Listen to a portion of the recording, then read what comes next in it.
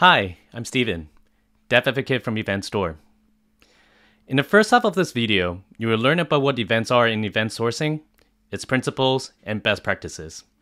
And in the second half of this video, you will learn about how events are implemented in Event Store DB, its components, and other details that you should be aware of. So without further ado, let's get right into it.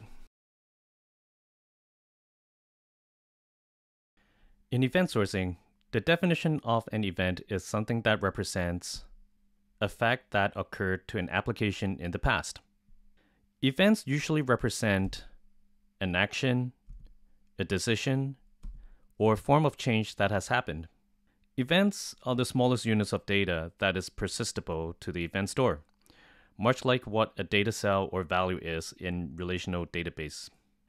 In event sourcing, events are generally made of two components a short event type and the event data itself with all the details. Event type is a short name of the event.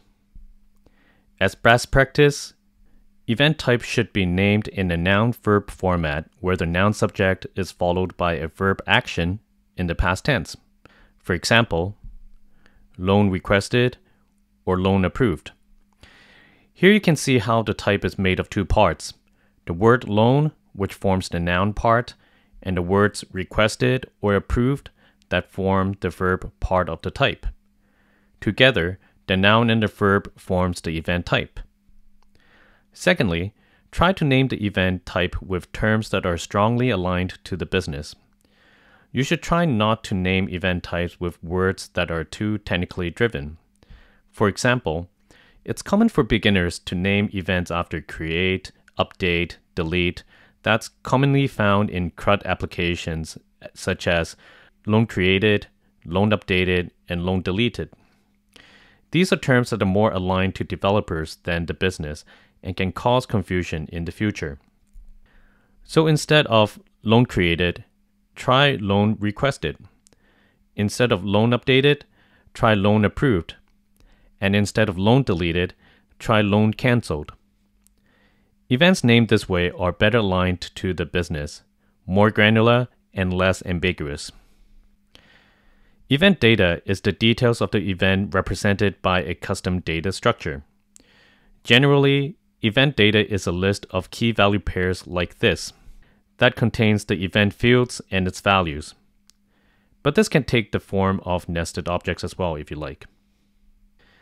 When events are implemented as a class in code, they don't typically have functions, especially the kinds of functions that contain business logic.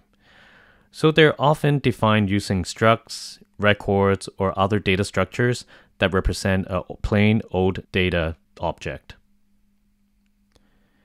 Now that you have learned the basic principles of events in event sourcing, let's see how events are implemented in Event Store DB. In Event Store DB, an event generally has the following attributes. Event ID, which is a UUID. Event type, which is a string. Event data, which is a series of bytes. And metadata, which is also a series of bytes. There are other attributes that are related to events, but these are the most important ones that you should learn first. All events must have an event ID generated by the client application.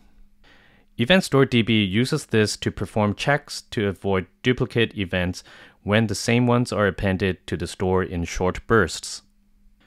You were introduced to event type and event data earlier in this video. Event type again is a string that represents the short name of the event. In Event Store DB, the event type is a simple string and cannot be empty or null. The event type should not be prefixed with the dollar sign.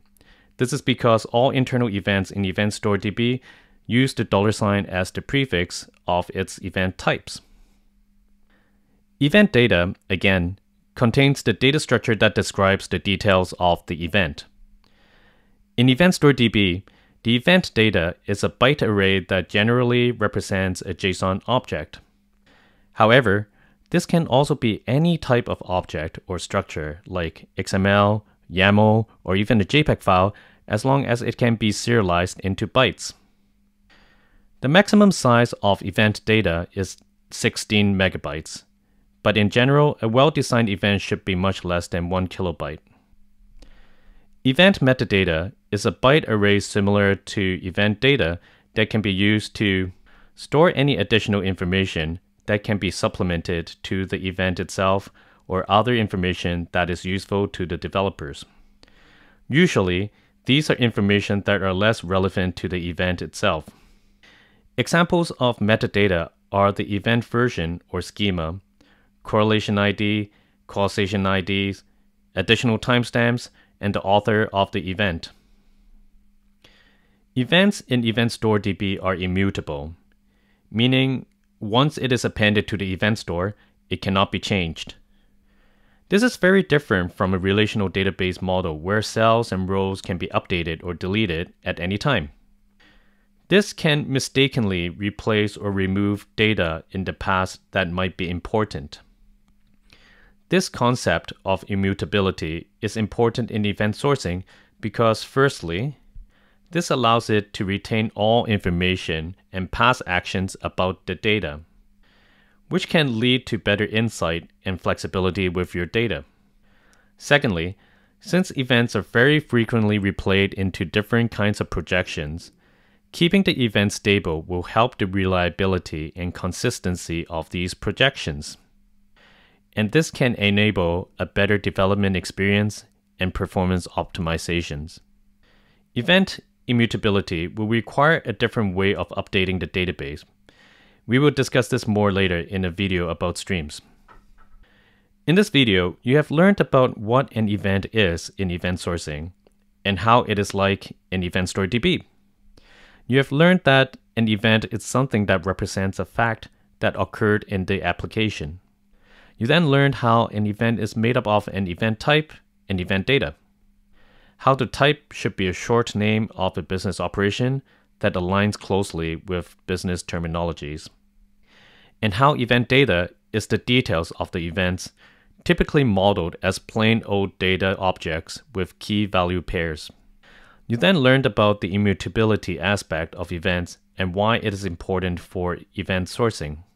Finally, you explored how events are represented in Event Store DB and its various attributes such as event ID, type, data, and metadata.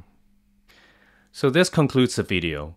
Hope you have learned something from this, and if you like what you've just learned, make sure you watch the other videos in this series as well. Enjoy!